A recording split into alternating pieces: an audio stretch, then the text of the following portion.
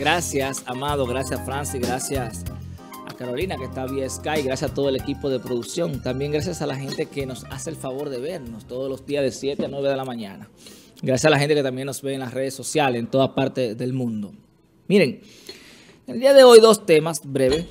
Eh, primero, eh, destacar, y ahora me voy a desmontar si se quiere, eh, del personaje, ¿verdad? Para que el público que nos ve entienda que la función que cada uno de nosotros desempeña dentro del programa es en función al formato del programa, naturalmente. Eh, hay personas que defienden una posición partidaria, hay otros que defienden una posición más de la sociedad civil eh, y así sucesivamente cada uno de nosotros desempeña, desempeña, una función que le da equilibrio al programa y eso es importante que cada, que cada persona que nos ve lo sepa. Y también eh, explicarle a nuestros televidentes que estamos en una sociedad moderna. Ya no estamos en los, en los años 80, ni en los años 60, ni en los 70. De hecho, ni siquiera estamos ya en, los 90. Estamos en los años 2000, 2020. Y la sociedad ha evolucionado mucho, ha cambiado mucho. Y lo que usted veía raro antes ya no lo es. Lo que usted veía difícil antes o imposible antes ya no lo es. ¿Por qué digo esto? Porque eh, decir, por ejemplo, decir, por ejemplo, que la Biblia no debe estar en la, en la bandera de la República Dominicana, que esa es mi posición, mi posición, decir que no debe estar... Espérate, espérate. Espérate, vamos a interrumpirte porque ven acá. ¿Eh? ah, muy bien. Vamos a ver, claro. No, no, devuélveme mi tiempo. Bueno, bueno. mi tiempo porque...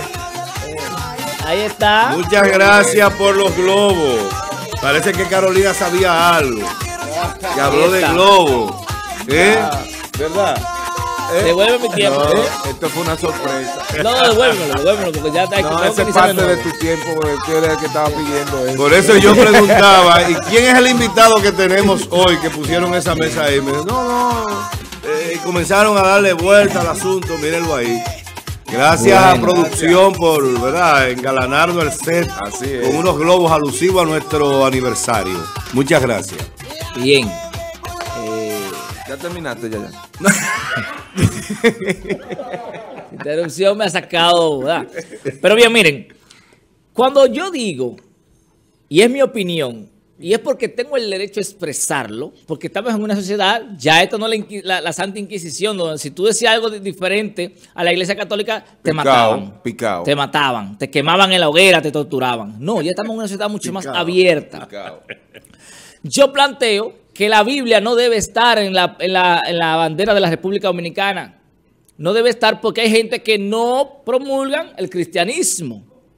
Y entonces la bandera es de los dominicanos.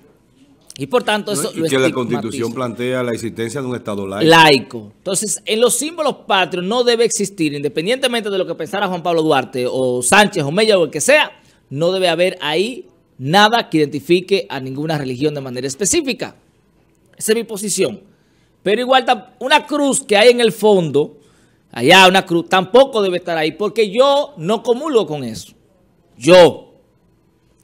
Pero eh, creo que incluso eh, la cruz blanca, no sé, es verdad, si significa la cruz de la de, católica, que tampoco estoy... símbolo de paz mm, intercalando los colores. Bien. Porque recuérdate que la bandera se usa en tiempos de guerra.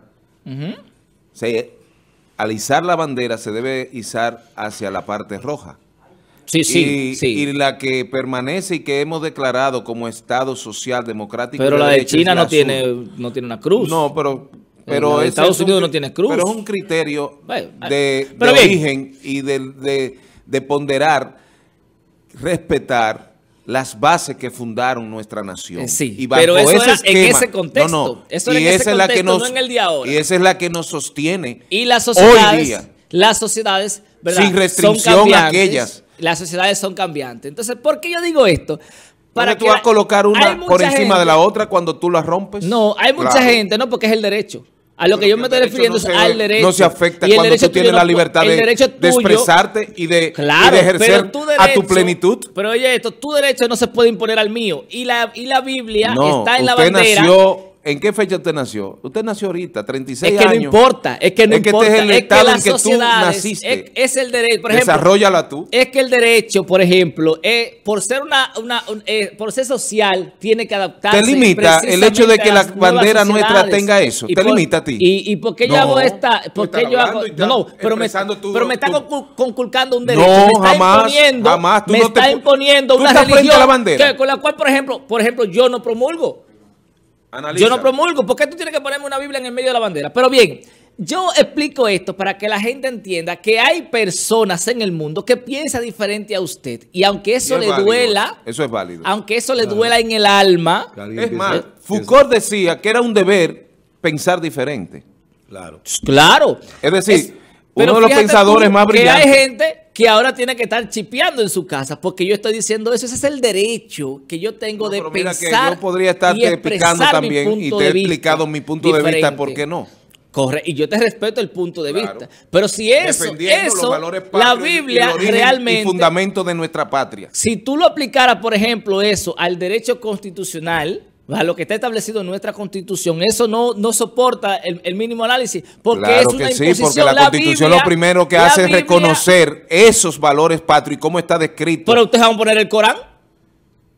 Bueno, claro. cuando Tenemos tú, que poner también el Corán. No, porque lo que hace el Estado es que es tan liberal que te permite profesar la religión que tú entiendas. Y que Entonces tú, quítame, la, bandera, quítame no, la Biblia no, de la bandera. Porque ese la bandera es el soporte es del y por resto ejemplo, del país. ¿Cuántos yo, son? No, no, no. Yo, yo pienso que ese es, una, el soporte. Esto es, es, una, que, la, la es una cruz, discusión que no lo va a llevar a nada. Claro, a nada porque no nos vamos a poner de acuerdo, claro. A eh, final de cuentas, en realidad, este, eh, el Estado no debe imponer nada. Nada. A una y persona. cuando me lo pone la bandera, que es mía Es que- y tuya, es que el- es algo que yo no quiero. el tradicionalismo constitucional No, que no hay de tradicionalismo origen. constitucional. La constitución nuestra no es una constitución tradicional. Eh. La constitución nuestra es ¿Y en qué ha nacida cambiado? del neoconstitucionalismo, ¿Y que es una corriente de pensamiento surgida a partir de la Segunda Guerra Mundial, tendente precisamente a evitar acciones dictatoriales. Nosotros no debes- somos de- nosotros no, Me no van a tenemos origen desde el Hay gente que todo le va a doler. 1941. De hecho, No, no, no. es que tampoco es- debe decir Dios. El criterio ¿Eh? dogmático. Tampoco debe decir Dios. Debe decir patria y libertad. Me van a excusar. Porque la gente que no cree en Dios. Hay gente que son ateos que no creen en Dios. Entonces, cuando tú le estás imponiendo Pero lo a más ellos un interesante es que criterio todos dentro- ellos reconocen que es existe Dios. patrio. Pero hay gente que no lo cree. Sí. Hay gente que no lo cree y hay que respetarle eso, pero entonces no se lo imponga en un símbolo patrio que también es de él. Entonces, a eso que yo me refiero. Tú vas a Pero- transformar todo el origen y la historia de no, la República no, Dominicana. lo que hay que hacer es adaptarse a los nuevos tiempos. Ustedes, los que lo están enfrentando, son los que deben adaptarse a la sociedad yo- que lo vio nacer. Pero espérate, yo te voy a decir Y algo. usted cambia producto de su preparación y de su comprensión de la vida. Van a tener que darme más y de minutos porque este no me Te lo digo. ¿Eh? Y de la filosofía de vida que tú adoptes sin que nadie me sujete a un principio contrario, ya Ahora- la Velo ahí, no me tú lo me estás sujetando. No. Porque tú me Ahora estás está desconociendo la constitución. Claro, tú la estás Déjalo que desconociendo. plantee eso usted. ese. Mira, Ah, ya, porque no le estoy dando la libertad. ¿por qué yo digo esto? Porque... La, miren, Recuperé los dos que le di. Ni si- ese ni siquiera era el tema. Oigan esto, muchachos, ese ni siquiera era el tema. Yo hice un preámbulo para que vean el nivel de discusión. Por ejemplo, la ley que prohíbe promover a los Trujillo en la República Dominicana, eso, está obsoleto. Puede- eso hay que quitarlo. Se puede analizar. ¿Sabe por qué? Porque ya hay, hay otro contexto. Fue en ese momento cuando, tratando de que no volvieran los Trujillo al poder, la, eh, ¿verdad? Se promulgó esa ley Pero para evitar que volvieran. Pero ahora, en un momento esa ley por una circunstancia de la vida de la vida nacional. Sí, pero- no es pero- lo mismo. Pero lo que te digo es que ya la- esa sociedad de ahora no es la de antes. ¿Entiendes? Entonces, tú tienes eso. que ir adecuando a la nueva sociedad. ¿Por qué yo digo esto? Digo que la ley, de, eh, por ejemplo, que prohíbe eh, promover a los Trujillos, regálame por lo menos un minuto, 80, Israel, porque tú no me has dejado hablar. Eh, la- esa ley está obsoleta. Eso hay que quitarlo. Porque ¿quién?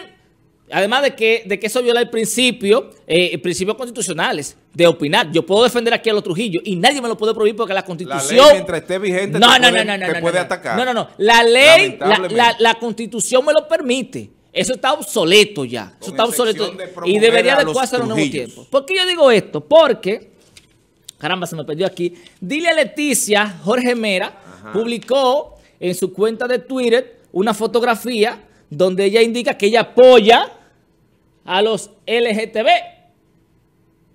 Y Óyeme, y, eso ha desatado. Tiene encerrada la bandera nacional Porque ella en un. entre dos pueblo, banderas eh, in- eh, in- insuficientes. eh, en un pueblo como este, como la República Dominicana, que vive anclada su- en su pasado, en el oscurantismo, no soporta ese, esa apertura a la libertad que ella mostró ahí. Y se la han querido comer viva. Mira, está promoviendo desde el gobierno una distorsión de la realidad.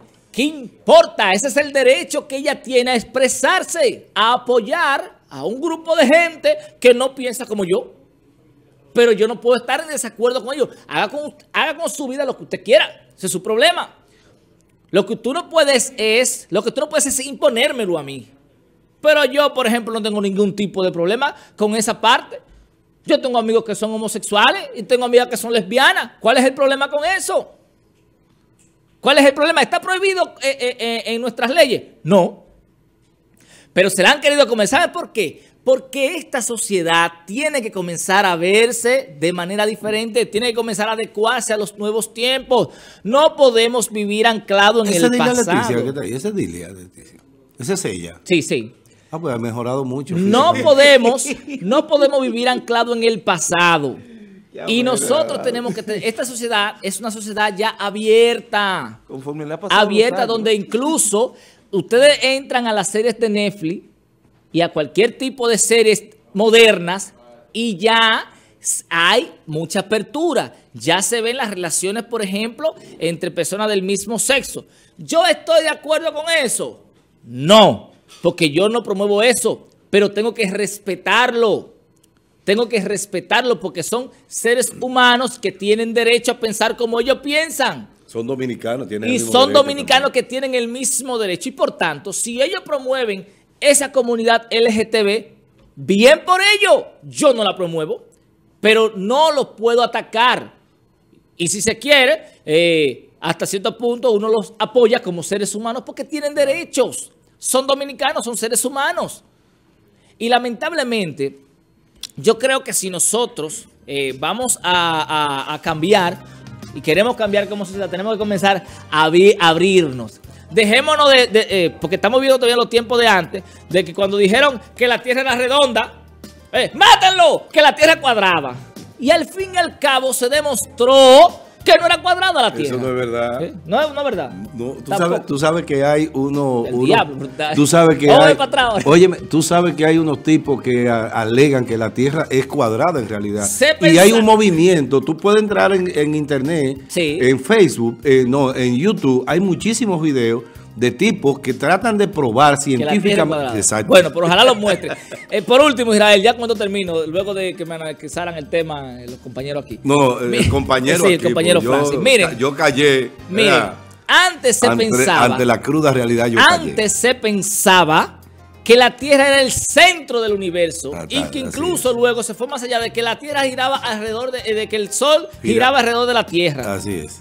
Resulta ser que la Tierra no es el centro del universo y resulta ser que no es el Sol que gira alrededor de la Tierra, El- sino que es la Tierra que a través de la elíptica gira alrededor del Sol.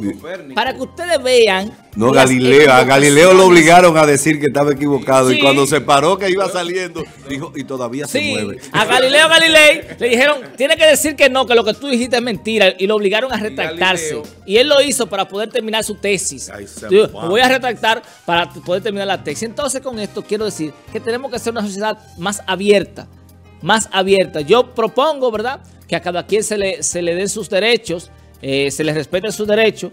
Yo, de mi punto de vista, creo eso no va a pasar, porque esto es un, esto es un país eminentemente católico, que fue una religión impuesta por los españoles.